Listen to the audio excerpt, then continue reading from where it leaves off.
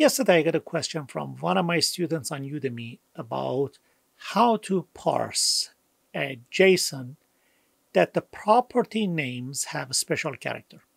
If you work with SharePoint, especially with the SharePoint get item from Power Automate, uh, probably you have noticed that some of the properties, they have a forward slash as a part of the property name. Of course, if you want to deal with that visually, that's easy because Power Automate will take care of everything. But if you really want to write an expression to get that value, uh, then that might be a little bit of challenge. So let's see how we can deal with that. It's going to be a very short video. So let's get into it as soon as possible. If you thought this is a joke, it was not. So basically, I want to use literally the same JSON and extract this value referring to this field. Let's start with this, and then I will show you how it appears when it comes to SharePoint. So let me just pick up this one. So let's go to flow.microsoft.com, and I click on Create. I want to create an instant flow, and I want to call it This is Special manually trigger a flow and I click on create, my flow is created. So first of all, let's create an object and put this value inside it. Let me copy this and I click on the flow, new step, and I create a variable. Initialize variable, and the name is going to be special. Type is going to be an object, and I can simply copy and paste that JSON object here. And this is a valid syntax, so if I click on save, it comfortably accepts it. So now we want to read these properties. First, let's start by reading property one, and then we go back to this weird thingy. To read property one, it's very simple. Let me add a new step here, and I want to use, for example, a compose. I click on compose, and compose is created. So I can click here and I need to read this variable from here, which is called special and bring it here. So to do that, it's very simple. I can click on the input. I click on expression and I start by using variables. I need to bring in the variable name and the variable name, if you remember from the previous one, it was special.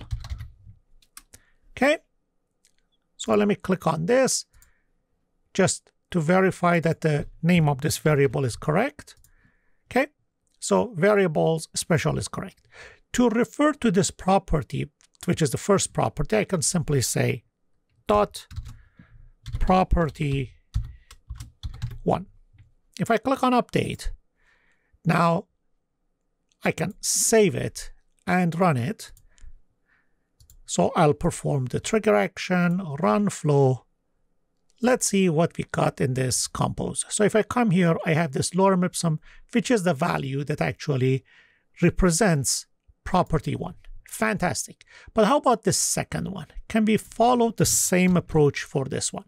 Let me click on edit here, click on variables, and instead of property one, I can simply paste this property that I cannot even read it.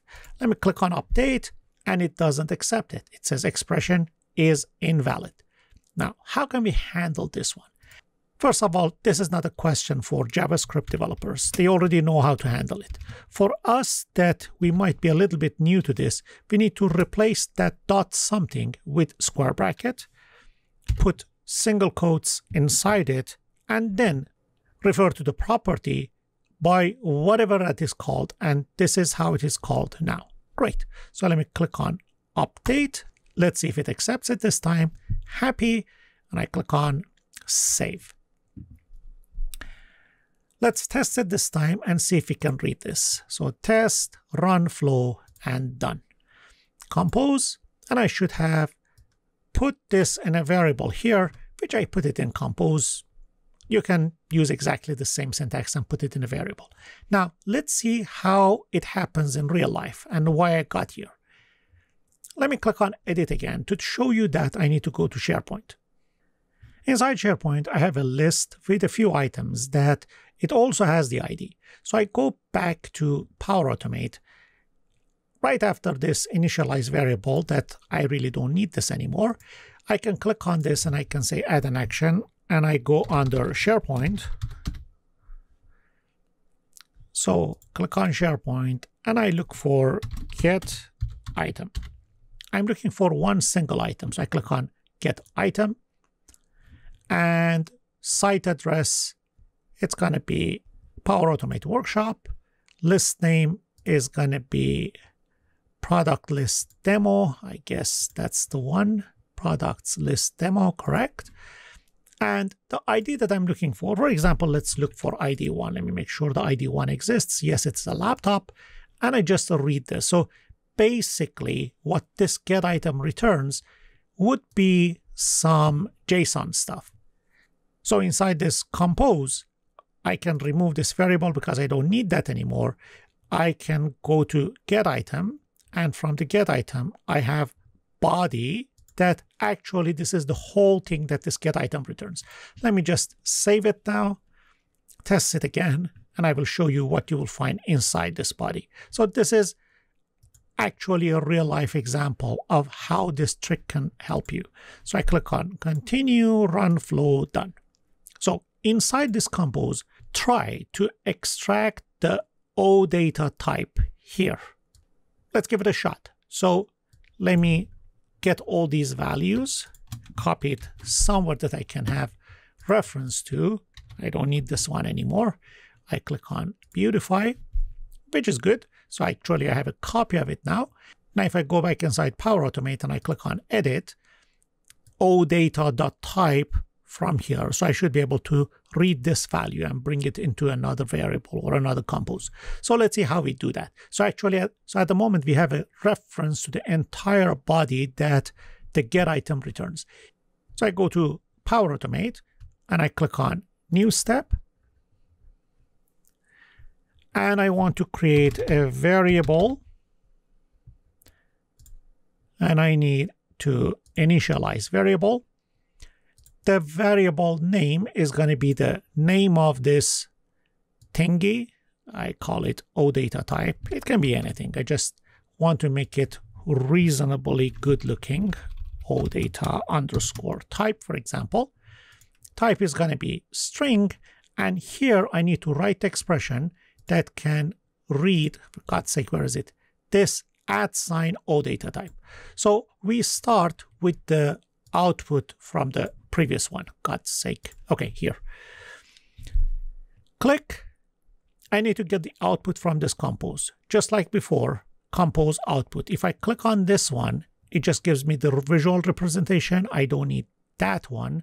To get the formula or the expression form of it, there is one way to refer to this action by the action name. The second and the easier way is click on the expression, just type a space, so it assumes that you're writing an expression, then click on dynamic content, and this time I want to get the output from compose. When you do that, because there was a space there, Power Automate assumes that you want to write expression, so it gives you the expression form of it, not the visual. After you tricked Power Automate Designer successfully, you just remove that space and you're good to go. I click on the expression tab to continue. Next thing that I want to add here is author because your desired node is under author. So I just copy this author from here, go back to flow, dot author. So far it is good, but right after that, there is a special character. I cannot simply copy and paste it here after a dot. So if I put dot here and paste it here, uh, because it assumes that at sign OData is one node and under that it has a type. So again, we use the same trick. We remove this dot, replace it by square bracket, and we go to the end and I add another square bracket. But before I press OK, you need to enclose this in single quote because it should be string representation of that property. Now I click on OK. Everything is good. Let me just save it, test it, test, run flow, done. And now if I come back here, I should be able to have this OData content in this variable, which is exactly what you have here. And that was all about it. Thank you for watching.